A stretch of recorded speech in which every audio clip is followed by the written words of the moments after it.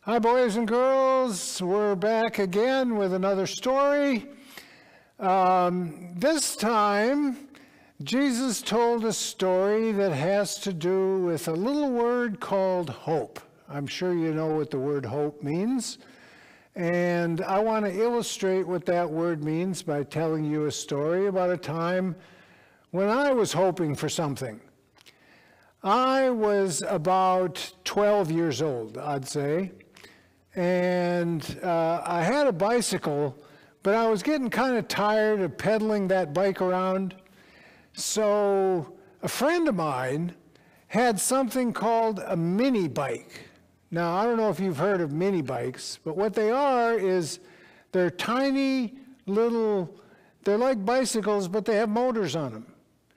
And uh, so they're like real small motorcycles. They don't go very fast. Uh, in fact, the engines are the same kind of engines that you have on lawnmowers. So they don't go very fast, but they're fun. They're a lot of fun. And where I lived, um, we were close to being out in the country. So I told my parents, I said, I want, I want one of those mini bikes. And they said, Well, okay, but we want you to save up some of your allowance so that you can pay for some of that. Because they didn't want to just give it to me for free, they wanted me to be responsible for it. So uh, I had to earn some money. And uh, during that time, I mowed the lawn. I helped my dad paint the fence. Um, I cleaned the house. I helped my mother with whatever chores she had. And uh, the whole time, even though I didn't really enjoy doing those things, what kept me going was hope that I would get that mini bike when I finally earned enough money. And sure enough, after about, oh, a month or so, I earned enough. We went to the store, we got my mini bike, and I had so much fun with that thing you can't imagine. Well, Jesus told a story once about hope, and he used the image of a tree. When you see a tree uh, in springtime, it starts to show leaves because the weather's getting warm and the tree starts to come back to life after winter.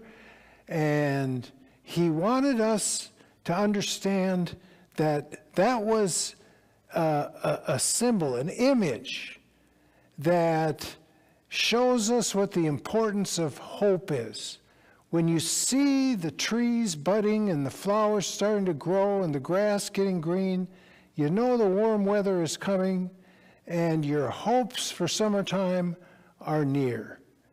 So it's important in life to always remember that even though we may not have what we want right away, we always have hope.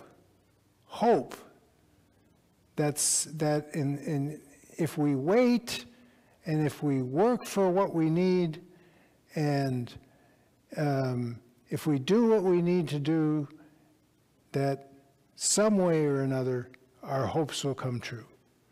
Let's have a prayer. Gracious God, we thank you that you shower us with so many gifts.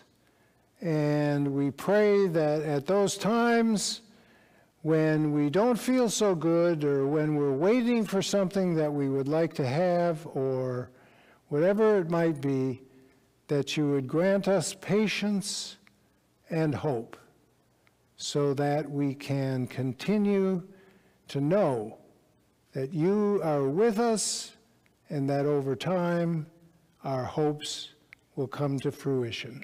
In Jesus' name we pray. Amen.